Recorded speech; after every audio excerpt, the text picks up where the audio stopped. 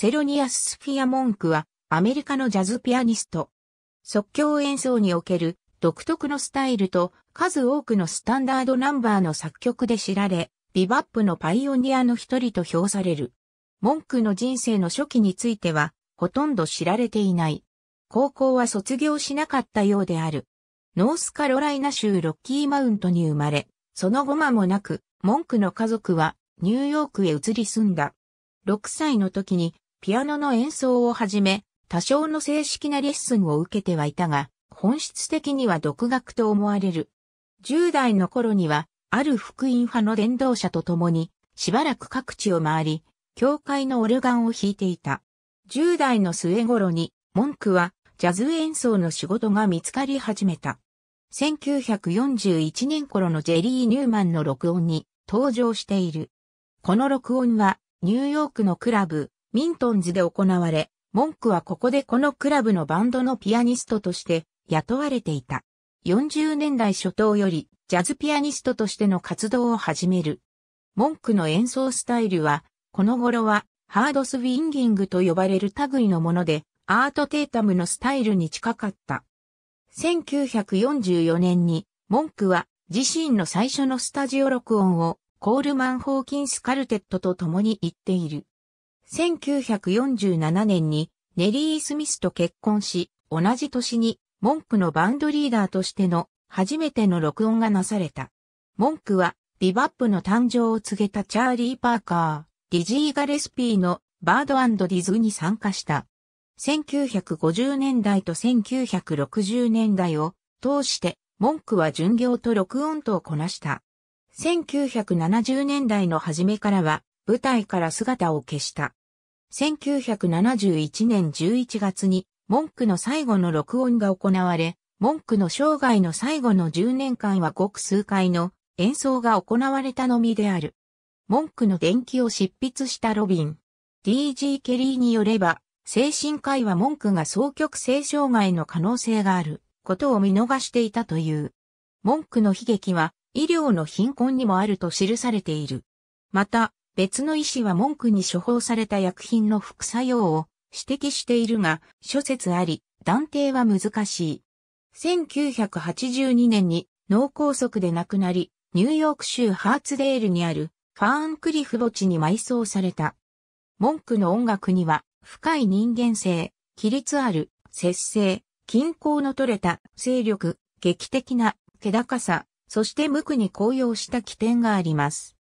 スティーブ・レイシー・モンクが、ピアノは間違った音を出さないと言ったことは有名である。トマス・オーウェンズは、次のように述べている。モンクのピアノのタッチは大抵、バラードにおいてさえも、耳障りで、パーカッシブでした。彼は、レガートに類するものを探すことなく、音符ごと音符ごとに鍵盤を攻撃することがよくありました。意図せずに発せられたようなセカンズがメロディーラインを装飾し、誰かが作業用手袋をはめて演奏しているような効果を与えることがしばしばです。指を自然に曲げてではなくまっすぐなままにして鍵盤を叩き、他の指は鍵盤の上高く掲げられていました。時には一つの鍵盤を複数の指で叩き、シングルラインのメロディーを左右の手で分けることもありました。このような非正当的な演奏アプローチとは、対照的に、文句は素晴らしい速度と正確さでランズとアルペジオを演奏することもできた。マーティン・ウィリアムズとランブレイクは指の独立性の高さを指摘しており、そのため右手でメロディーラインとトリルトを同時に演奏することもできた。文句はしばしば全音階の一部を使用し、上昇もしくは下降音階で演奏することで数オクターブをカバーしている。また、彼が作曲したいくつかの曲の主題においても使われている平行六度を特徴とする即興演奏を拡張した。ソロにおいては無音の空白とロングノーツを特徴としている。また、ビバップを基盤とするピアニストには珍しく、伴奏やソロにおいて彼は、左手でのストライドパターンを採用していた。伴奏者としての特徴には、しばしば演奏を止めてしまい、ベースとドラムだけにソリストをサポートさせるという傾向もある。モンクは、変ロ長調を特に好んで用いており、ブルーモンク、ミステリオーソ、ブルースファイブスポット、ファンクショナルといった彼が作曲した何曲ものブルースはすべて変ロ長調である。加えて彼のシグネチャー曲であるセロニアスの構成は執拗に繰り返される変ロ長調のトーンに占められている。他のピアニストからの影響については、オーウェンズはアート・テータムとテディ・ウィルソン、デューク・エリントンの名を挙げている。文句の死後、その音楽は幅広い聴衆によって再発見され、文句は今日ではマイルス・デイビスやジョン・コルトレーンなどと並び、ジャズの歴史における優れたアーティスト、あるいは巨人の一人に数えられている。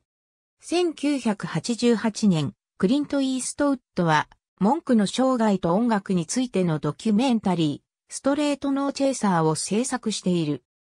ジャズ喫茶のマスターでもあった作家の村上春樹は変、訳したセロニアス・モンクのいた風景のエッセイで、彼の音楽は何かすごいもの、理解しがたいパッケージをテーブルの上にひょいと置いて、一言もなくまたふらりと姿を消してしまう謎の男みたいだったと書いている。ありがとうございます。